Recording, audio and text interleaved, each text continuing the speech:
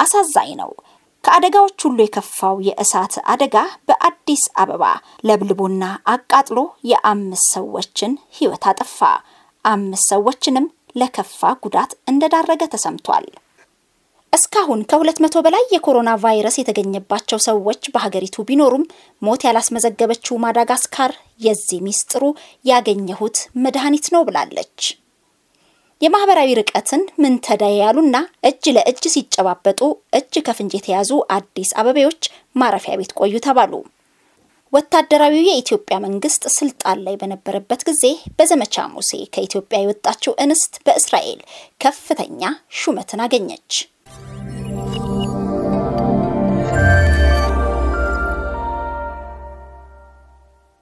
ሰላም ጤና ስጥልን ውድ የኢትዮ ኢንፎ ሚዲያ ተከታታዮች እንደምን አላችሁ? ቢቻላችሁ ከቤት ካልሆነም እጃችሁን ሰብስባችሁና አፍና አፍንጫችሁን ሸፍናችሁ ማህበራዊ ርቀታችሁን ጠብቃችሁ ካሰባችሁበት ውላችሁ በሰላም እንድትገቡ እንመኛለን።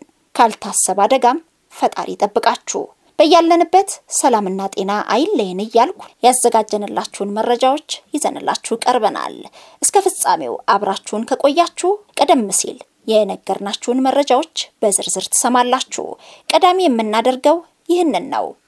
አሳዛኝ ነው። በእሳት አደጋ የአምስት ሰዎች ሕይወት አለፈ። አምስት ሰዎች ከባድ የአካል ጉዳት ገጥሟቸዋል። በአዲስ አበባ ጀርመን አደባባይ አካባቢ ከአንድ የእንጨትና ችቡድ ማምረቻ ድርጅት የተነሳ የእሳት አደጋ ነው ለአምስት ሰዎች ሞት ምክንያት የሆነው። በነፋስ ስልክ ላፍቶ ክፍለ ከተማ ወረዳ ሁለት በትላንትናው ዕለት በእንጨትና ችቡድ ማምረቻው ላይ የእሳት አደጋ መከሰቱን የአዲስ አበባ እሳትና አደጋ ስጋት አመራር ኮሚሽን ለኢትዮ ኤፍኤም ተናግሯል። በአደጋውም የአምስት ሰዎች ሕይወት ሲያልፍ አምስት ሰዎች ደግሞ ከባድ ጉዳት ደርሶባቸዋል። ትላንት አስር ሰዓት ላይ የተከሰተውን የእሳት አደጋ መቆጣጠር የተቻለው ሌሊት ስምንት ሰዓት ላይ ነውም ተብሏል። የአደጋው መንስኤ እየተጣራ ነው ሲል የአዲስ አበባ የእሳትና አደጋ ስጋት አመራር ኮሚሽን ተናግሯል። ማህበራዊ ርቀትን ምን ተደይ ያሉና እጅ ለእጅ ሲጨባበጡ እጅ ከፍንጅ የተያዙ አዲስ አበቤዎች ማረፊያ ቤት ቆዩ ተብለዋል። የአዲስ አበባ ፖሊስ በቸልተኝነት የአፍና አፍንጫ መሸፈኛን ያላደረጉ 1941 ሰዎችን ወቅቱን ሳያገናዝቡ እንደ ቀድሞ ተቃቅፈው ተያይዘውና ተጠጋግተው አግኝቻቸዋለሁ ያላቸውን 860 ሰዎችን እንዲሁም ሲጨባበጡ አገኘኋቸው ያላቸውን 12 ሰዎች የአስቸኳይ ጊዜ አዋጅ ክልከላዎችን ጥሰዋል ሲል በቁጥጥር ስር አውሏቸዋል። ኮሚሽኑ ሕዝብ ይበዛባቸዋል በተባሉ ሀያ ቦታዎች ላይ ቁጥጥር አድርጎ በጠቅላላው ከ2800 በላይ ሰዎችን መያዙን ተናግሯል።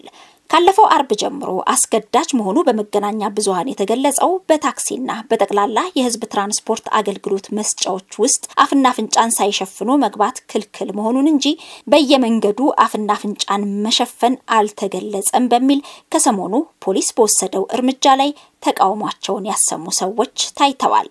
ፖሊስም ከአራት በላይ መሰብሰብን የሚከለክለውን አዋጅ ለማስፈጸም ሰባት ሆኖ የሚሄዱ ነገር እንዴት ነው እያሰኘ ማህበራዊ ሚዲያ ላይም መነጋገሪያ የሆነ ነው። ሰዎች በሚበዙባቸው አካባቢዎች ማህበራዊ ርቀታቸውን መጠበቅ እንዳለባቸው ምክር ሲሰጥ አጠጋግቶ መሆኑም ሌላኛው ግርምታን የፈጠረ ጉዳይ ነው።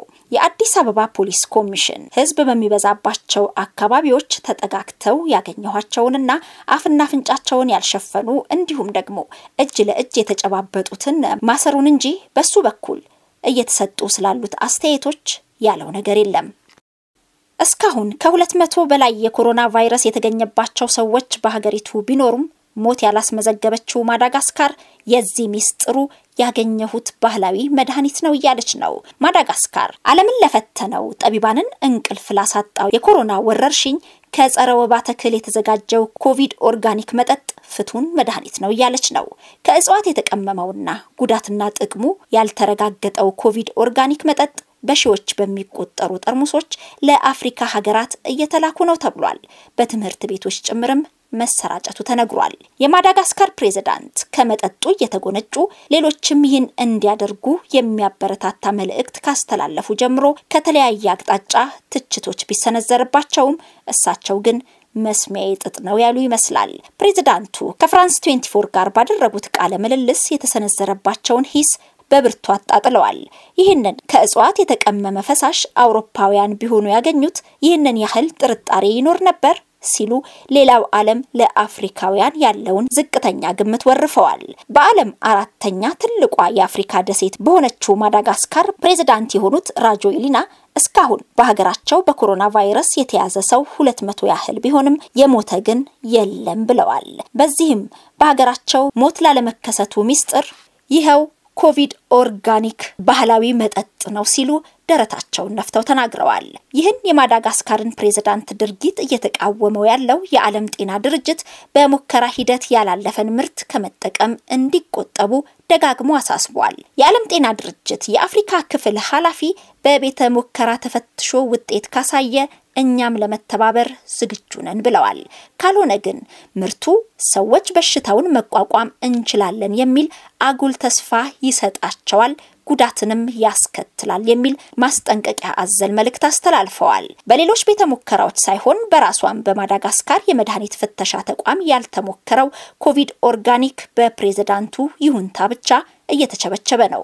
ከዚህ ቀደም ፕሬዝዳንቱ ባህላዊ መድኃኒቱ ለኮሮና ቫይረስ ታማሚዎች ብቻ ሳይሆን ለሌሎች ሰዎችም በኮሮና ቫይረስ እንዳይያዙም የማድረግ አቅም አለው ሲሉ መናገራቸው ይታወሳል። የኢኮኖሚ ምንጯ የአሳ እርባታ እንደሆነ የሚነገርላትና 26.3 ሚሊዮን ሕዝብ ያላት ማዳጋስካር ኢኮኖሚዋ ደካማ ከሚባሉት የአፍሪካ ሀገራት ተርታ የሚመደብ ነው። ዓለምን ለፈተነው የኮሮና ቫይረስ ባህላዊ መድኃኒት አግኝቻለሁ ስትል የቻይናንና የደቡብ ኮሪያ አምባሳደሮችን በመጋበዝ በይፋ እወቁልኝ ያለችው ማዳጋስካር በፕሬዝዳንቱ አማካኝነት ይህንን ባህላዊ መድኃኒት መክፈል ለማይችሉ በነፃ ለሌሎች ደግሞ በቅናሽ ይቀርባል ማለቷ ተሰምቷል። ወታደራዊ የኢትዮጵያ መንግስት ስልጣን ላይ በነበረበት ጊዜ በዘመቻ ሙሴ ከኢትዮጵያ የወጣችው እንስት በእስራኤል ከፍተኛ ሹመትን አግኝታለች።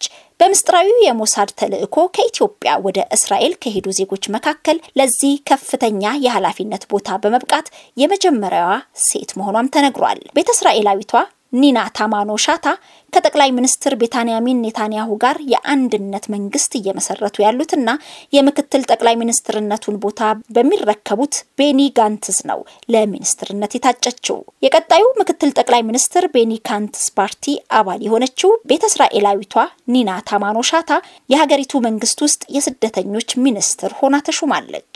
ወታደራዊ የኢትዮጵያ መንግስት ስልጣን ላይ በነበረበት ጊዜ በ1976 እና 77 ዓመተ ምህረት እጅግ አስደናቂ በተባለው የዘመቻ ሙሴ በእስራኤል የስለላ ድርጅት ከኢትዮጵያ እንዲወጡ ሲደረግ የአሁኗ ተሿሚ ሚኒስትር የሶስት ዓመት ጨቅላ ነበረች። ኒና ታማኖ አሁን የሰላሳ አምስት ዓመት ወጣት ነች። በተለያየ ጊዜያት ከኢትዮጵያ ወደ እስራኤል የሄዱ ቤተ እስራኤላውያን መድሎ እንደሚፈጸምባቸው በተደጋጋሚ አቤቱታ ያቀርባሉ። በዚህም ሳቢያ ከቅርብ ዓመታት ወዲህ ተቃውሟቸውን ለመግለጽ ወደ ጎዳናዎች ለበርካታ ጊዜ ወጥተዋል። ኢትዮጵያውያኑ ቤተ እስራኤላውያን 140 ሺህ የሚደርስ ቁጥር ያላቸው ሲሆን አብዛኛዎቹ ስራ አጥ በመሆናቸው በአገሪቱ ውስጥ በድህነት ከሚኖሩት መካከል ይመደባሉ። እንደ ቢቢሲ ዘገባ እስራኤል ውስጥ ተወልደው ያደጉ በርካታ የኢትዮጵያ ቤተ እስራኤላውያን በአገሪቱ ጦር ሰራዊት ውስጥ በዳኝነት መስክና በፖለቲካ ውስጥ ተሳትፈው ስኬታማ ለመሆን ችለዋል። ኢትዮ ኢንፎ ሚዲያ የተለያዩ ማህበራዊ፣ ፖለቲካዊና ወቅታዊ ጉዳዮችን እያዘጋጀ ወደ እናንተ ያደርሳል። subscribe፣ comment፣ share በማድረግ ቤተሰቡን እናመሰግናለን።